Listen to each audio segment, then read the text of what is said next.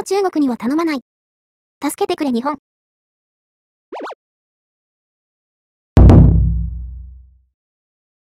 皆さんもご存知の通り、日本の鉄道の安全性は、世界から高い評価を受けています。日本で生活していると、ついつい当たり前に思ってしまいますが、日本の鉄道技術は世界的にもトップクラスです。海外企業が製造、運用している鉄道は、故障やトラブルなんて日常茶飯事ですが、日本の鉄道は、めったに、そのようなことは起こりません。それは、故障が起こらないように設計されているだけではなく、定期的に、車両や路線に欠陥がないか点検し、メンテナンスを行っているからです。しかしながら、コストを抑えるために、日本を裏切って、中国に鉄道建設を依頼し、後になってから痛い目を見ている国が数多くあります。その代表例としてフィリピンが挙げられます。今回は、そんなフィリピンで実際に起きた悲劇とカウンターを食らった中国の話題をお送りします。2018年、フィリピンと中国の間で、とある鉄道プロジェクトの交渉がスタートしました。このプロジェクトは、フィリピンに3つの鉄道を開通させようというものでした。首都マニラの南部を運行するフィリピン国鉄ビコール線。港のあるスービックと空港のあるクラークを結ぶスービッククラーク鉄道。南部ミンダナオ島でダバオなどを運行するミンダナオ鉄道。この3つです。マニラはもちろん、ミンダナオ島も名前を聞いたことがある方は多いはず。スービックとクラークは景色が美しい観光都市で、いずれもフィリピン経済に大きな恩恵をもたらしています。これらの場所に、同時に、3県も鉄道計画が持ち上がるとは、インフラを発展させて経済を活発にしていこうという強い意気込みが感じられますよね。当時のフィリピン大統領、ドゥテルテは、ビルドビルドビルドと呼ばれる大規模なインフラ整備計画を推し進めており、雇用の創出、国民所得の向上、投資環境の強化を行い、持続的な経済成長の実現を目指していました。この鉄道プロジェクトもこのような経緯で暗出されたものです。しかし、そこに還元を浪して寄ってきたのが中国です。なんと、この鉄道計画に対して49億ドル、日本円にして約6800億円もの多数の借款を提案したのです。あまりにも膨大な金額の上、中国の借款はインドネシアなどでも内恵みになった事例があり、信頼に足るものではなさそうですが、中国による政府開発援助 ODA として両国政府が協議した上での合意に至りました。しかし、そもそも中国とフィリピンは過去の外交においても良好な関係が築けているとは言い難いです。なぜ、このような融資借款が決定されたのでしょうか。実は、ドゥテルテ大統領は中国に対して融和的な政策を取ることで経済発展を優先する姿勢をとっていました。つまり、中国と仲良くする代わりに、インフラ事業を手伝ってもらおうとしていたのです。この鉄道計画の他にも、ミンダナオ島ダバオとサマル島の連絡橋の建設費として、中国から約468億円もの融資を受けることが決定されています。ドゥテルテ大統領は、私は、とにかく習近平氏が大好きだ。誰よりも、私は、中国を必要としていると発言し、その中国愛が何度も話題になりました。某沖縄県知事と同じような人ですね。そして、さらなる中国への融和政策として、長年争ってきた南シナ海での領有権論争を棚上げにすることを決定。南シナ海には石油や天然ガスが存在しており、フィリピンにとっては重要な資源となるため、このような彼の姿勢にはメディアからも弱腰である下手に出るべきではないと批判の声が多く上がりました。しかし、ドゥテルテ大統領と中国の癒着は長くは続きませんでした。2022年5月に行われた大統領選挙では、ドゥテルテ大統領の後任としてマルコス大統領が当選。彼は、フィリピンの民主主義史上最大の選挙による信任であったとも言われており、国民の期待を大きく背負っています。マルコス大統領の中国に対する姿勢は、ドゥテルテ前大統領とは異なるものでした。というのも、選挙期間中に南シナ海の領有権問題について中国に妥協しないとの考えをアピールしていました。就任直後の方針演説でも、1平方インチたりとも領土を渡すようなことはしないとの強い心意気を述べています。そして、2022年7月15日に、フィリピンメディアは、中国からの鉄道プロジェクトと有資契約は白紙になったと発表しました。フィリピン運輸省のチャベス運輸副大臣は、ドゥテルテ前政権下で合意されたフィリピン政府による三大鉄道プロジェクトへの中国の融資について、中国側の具体的な動きはなく、融資契約は撤回されたと判断される。と述べました。そして、フィリピン政府が撤回されたとみなされる鉄道事業融資について、中国政府と再交渉するとともに、他の国との交渉も検討している。中国は、融資に際し、年利3%を要求している。日本の融資条件である、年利0.1%を大きく上回る。と続けました。チャベス運輸副大臣のこの発表に対し、在フィリピン中国大使館は、融資の撤回については直接触れず、中国とフィリピンは鉄道関係で協力を続けていると言える。中国はフィリピン新政権との話し合いに前向きであり、協力を進める用意がある。と発表。しかし、その1ヶ月後の8月18日には、香港メディアが、フィリピン政府は中国との交渉が難航し、財政難に陥っており、日本からの支援を求めることを検討していると報じました。さらに、フィリピンのハイメ運輸省が、日本の国際協力機構の関係者と会談し、鉄道事業への資金提供を提案したことを明らかにしたとも報じています。8月上旬、ハイメ運輸省は、中フィリピン中国大使と、この件に関する協議を再開しましたが、これらの鉄道は、2022年6月末に就任したマルコス大統領の6年の任期内に完成させることができないかもしれない。と述べたようです。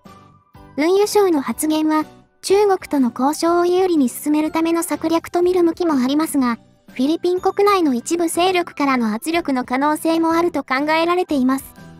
フィリピンも、年利が高く、信用もできない中国に頼むくらいなら、日本に頼んだ方がよほど効率も良く、また信頼できるということに今更気づいたのでしょうが、中国との体裁もあって、そう簡単には乗り換えられないのでしょう。フィリピンが日本への協力要請を検討という報道に対して、ネットには様々な意見が上がりました。この案件を日本が確保して設ければいい。東南アジアは日本の事業発展にも有益な場所だ。フィリピンも政権が変わって、ようやく正しい道に進み始めたか。早く中国ではなく、日本と手を結ぶべき。このような意見もありましたが、反対意見も数多くありました。日本に援助要請が来ても放っておくべき。何でも日本が助けてくれると思ったら大間違いだ。一度、フィリピンは日本を裏切ったのだから、二度と助けてもらえると思うなよ。過去に日本を捨てて、中国と手を結んだくせに、フィリピンもずうずうしい国だな。プライドってものがないのかよ。困った時だけ日本に頼ろうとするのは間違っている。いちいち助けてあげる日本も、お人よしはいい加減にするべき。何度も裏切られたらたまったものじゃないよ。ところで、コメントにあった、過去に日本を裏切ったというのはどういうことなのでしょうか。ここで、フィリピンの首都マニラで運行している鉄道、マニラ MRT3 線の建設、鉄道運用の歴史と、日本、中国をめぐる信じられない出来事をご紹介します。マニラ MRT というのは、英語のマニラメトロレールトランジットシステム3号線を略した通称です。メトロは地下鉄、レールは鉄道、トランジットは輸送という意味ですね。南のタフトアベニュー駅と北のノースアベニュー駅を結ぶ全長 16.8km あるこの線は、現在では、1日に60万人もの人々が乗車する、生活に欠かせない交通インフラです。1995年、マニラ MRT 建設に先立って、フィリピン輸送省が公共鉄道を建設、運営する形ではなく、民間事業者に公共鉄道の建設、維持、管理、運営を任せる方式で建設することが決定されました。そして、民間事業者として、現地企業だけではなく、日本から三菱重工業と住友商事が参加することになりました。鉄道工事だけではなく、完成後の点検、故障対応などのメンテナンス業務も、三菱重工と住友商事が請け負うことになりました。もちろんこれは、日本の鉄道技術が群を抜いて優れており、確かな安全性や優れた品質が保証されているからです。日本の技術は、世界中から確かな信頼を獲得しており、なんと54カ国以上で活躍しています。例えば、アメリカのニューヨーク鉄道に対しては、2000台以上の鉄道が輸出されています。実際に運用している日本製の鉄道車両への評価は上々で、トラブル知らずと現地の人からも信頼を得ています。特に注目を浴びたのは、アラビア半島に位置するアラブ首長国連邦の首都ドバイへ輸出した鉄道です。中東にあるアラビア半島は、気温が50度を超える日が多い上に、砂が空気中を舞う砂漠地帯が多いため、鉄道のような精密機器は、扱う設備を建設しても、長期にわたって運用することは非常に難しいと考えられてきました。しかし、日本企業が技術を集結させ、中東初となる鉄道システムが完成し、ドバイメトロとして運行を開始しました。気温や砂嵐などの気候や地域状況に耐えられる鉄道を作り上げただけではなく、遠隔操作での無人運転も行うことができるようにしたため、多くの人々を驚かせました。ドバイメトロは、レッドラインとグリーンラインの2つの線からなっており、レッドラインは、世界最長の全自動無人運転の鉄道としてギネスブックに登録されています。そんな高い鉄道技術を取り入れるべく、日本企業に鉄道建設、運用時のメンテナンス業務を依頼し、建設が進められていったマニラ MRT3 線。1996年に着工し、1999年12月には、ノースアベニュー駅とブエンディア駅間約 12.6km を他の区間に先駆けて部分開業しました。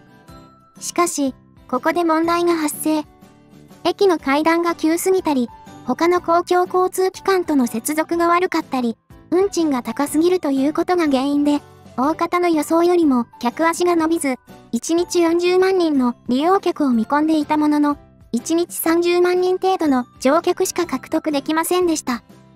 これは何とかしなければいけないと、エスカレーターとエレベーターを設置したり、運賃を下げるなどの対応をしました。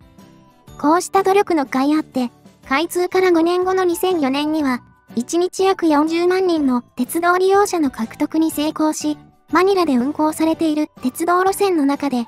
最も乗降客数の多い路線となりました。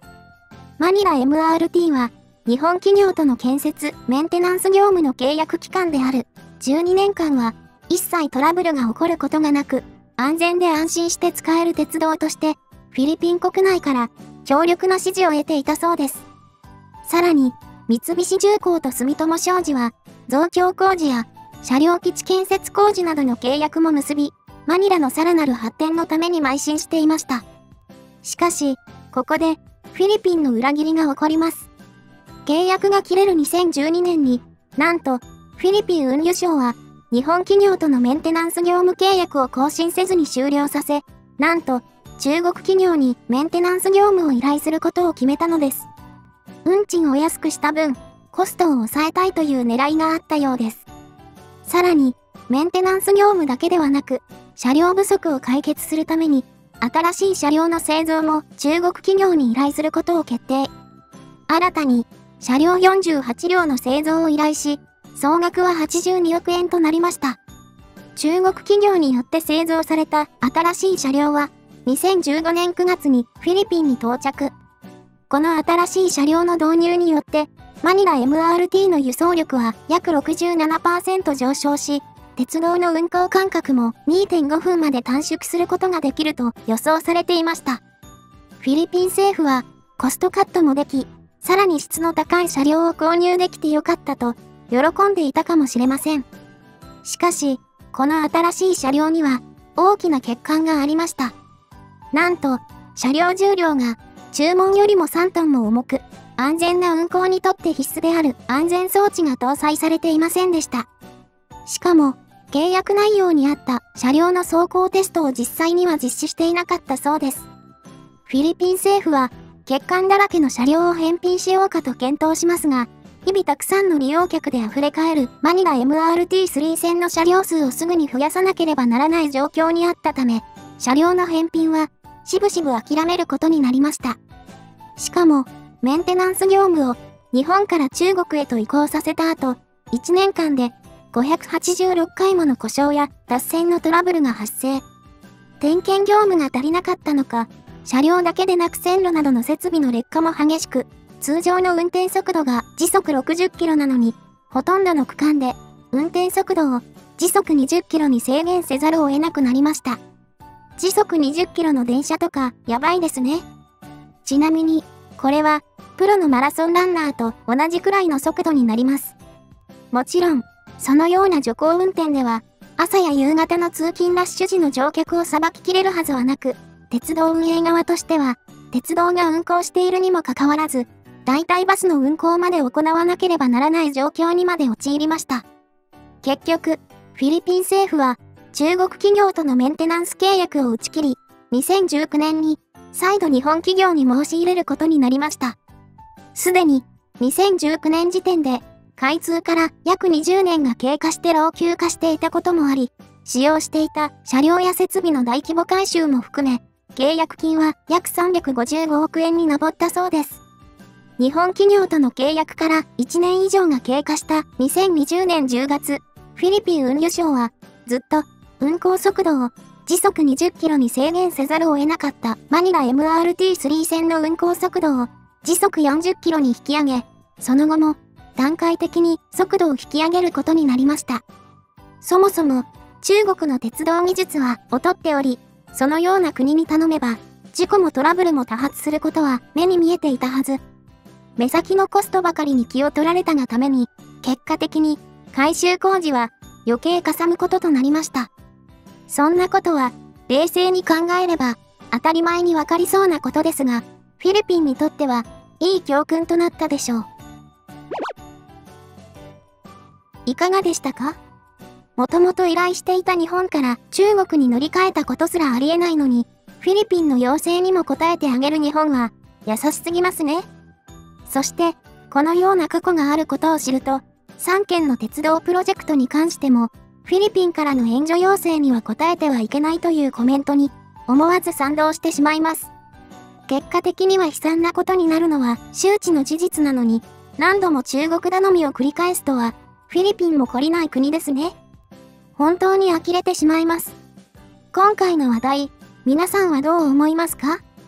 よかったら、皆さんの意見や感想も聞かせてください。それでは、最後まで見ていただき、ありがとうございました。